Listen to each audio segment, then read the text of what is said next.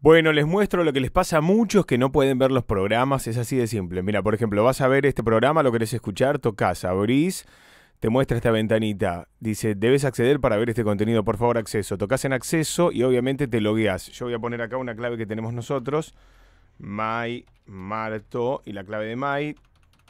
Muy bien, ustedes ponen su clave, su usuario, tocan aquí en Recuérdame y aprietan en acceso.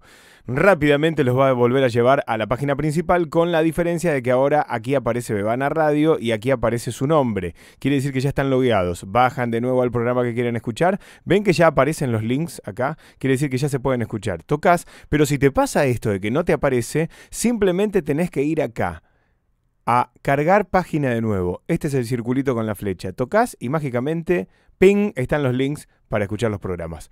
Así de fácil, chicos. Por favor.